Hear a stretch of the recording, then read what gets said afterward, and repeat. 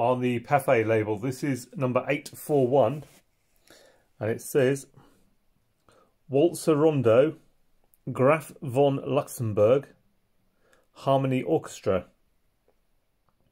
Have a little 841 stuck on there and the other side it's got a label stuck on it uh, and that says very similar actually